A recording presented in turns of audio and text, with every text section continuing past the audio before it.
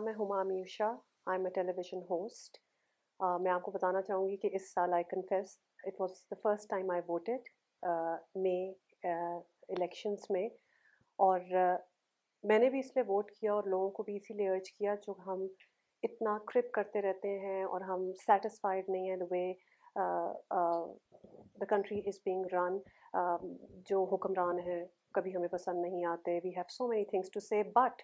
हमने कभी वोट नहीं किया इससे पहले and I feel I started feeling that we really don't have a right to say anything when we are not a part of the system इसलिए मैं कहूँगी सिर्फ़ मैं नहीं, मेरे जैसे बहुत पाकिस्तानियों के लिए इस बार, इस साल ये first time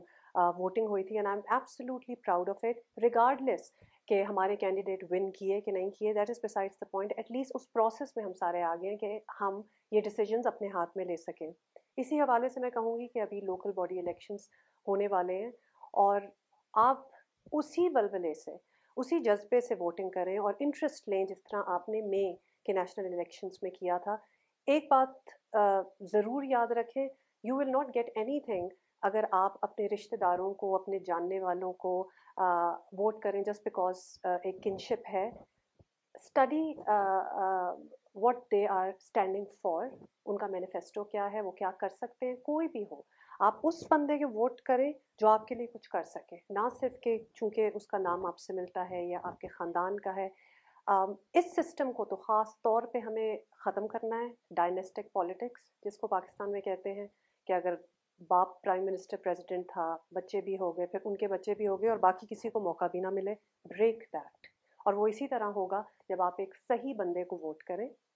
and I would urge everybody कि आप इन लोकल बॉडी इलेक्शंस में ज़रूर हिस्सा लें choose your counsellors so that you can have the nazim and naib nazims and all the system of your choice but you have to take interest अगर आपने interest ना लिया, अगर आपने वोट ना किया तो फिर आपको कोई हक नहीं है कि आप उनको कुछ कह भी सकें अगर आपके काम ना हो। So be very aware be informed make smart intelligent decisions and do vote